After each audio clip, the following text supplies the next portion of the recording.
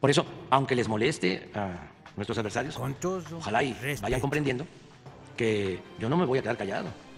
Si este, eh, ellos siguen impulsando ¿no? el regreso de un sistema de corrupción y de injusticias y de privilegios. No, no. Queremos justicia para México, queremos democracia. Y es mi obligación como presidente.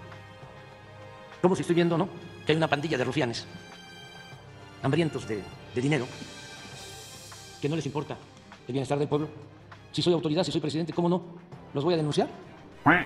¿Cómo no? Cuando menos le voy a informar al pueblo de que están acechando y que quieren regresar a robar. Estoy obligado a hacerlo.